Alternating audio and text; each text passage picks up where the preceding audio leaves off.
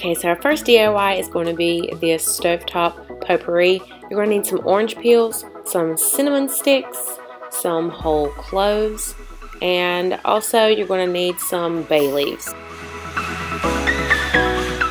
I'm going to be using my little tea kettle and I'm going to fill it up with some water. You don't have to use a tea kettle if you don't have one. You can use just a small pot. You're going to want to set your burner to the lowest setting just so your little pot there can just simmer away. So first we're going to add in all of the orange peels. Next we're going to go in with our cloves and I'm just going to do two teaspoons but this is completely up to you if you want the scent to be stronger you can add as much as you want now we're going to go in with just two of the single bay leaves and to follow that, we're going to put in some cinnamon sticks. And like I said, you can pick as many as you want, but I'm just going to go with two. This has to be my all-time favorite potpourri recipe. You're going to absolutely fall in love with this scent.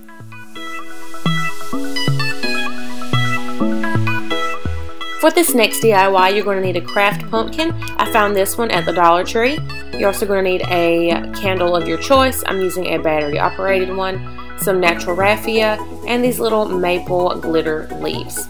So to start off, we're just going to measure the candle on the top of the pumpkin so we can begin carving.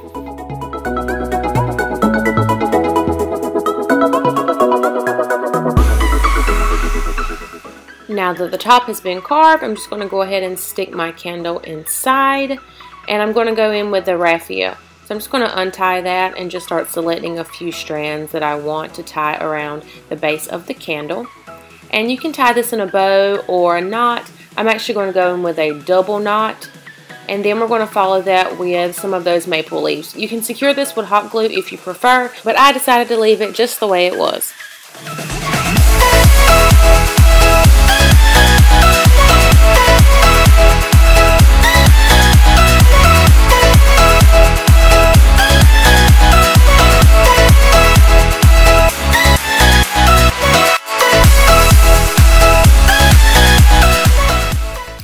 This next DIY, all you're going to need is a computer and a printer. So for this one, we're going to make our own printable. Now if you didn't know, you could use PicMonkey and just select whatever size you want your picture to be. You can actually go to Google, type in pretty much just about any PNG image and just put your own printable together.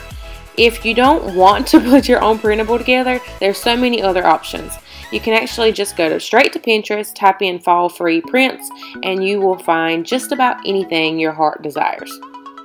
This year I actually made my own printables, so I'm going to be printing some of those.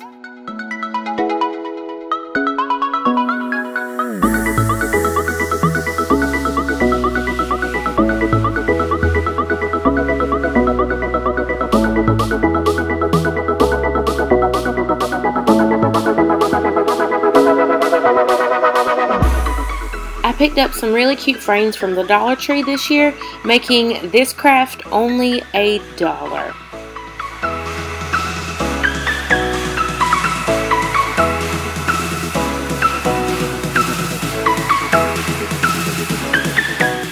I love how simple these were to make and also the fact that you can interchange them throughout the holidays and the seasons. I am so obsessed with this idea.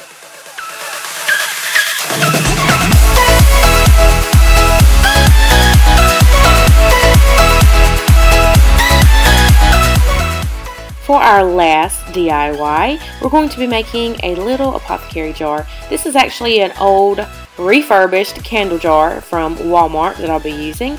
You'll also need some jute twine and whatever you want to fill the jar with. So I'm just going to take some of that twine and wrap it around the lid just to make it look a little bit more festive. Now I'm going to take some leftover raffia from a previous project and I'm just going to toss that into the jar. This is probably the most simple DIY that you will ever do. So just toss whatever you want inside. I'm just going to use some acorns and just a little crafty pumpkin and top it off.